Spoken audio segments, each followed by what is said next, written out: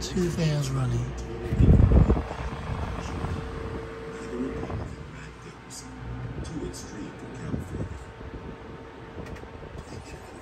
Thanks for watching. I'm at the fan man out.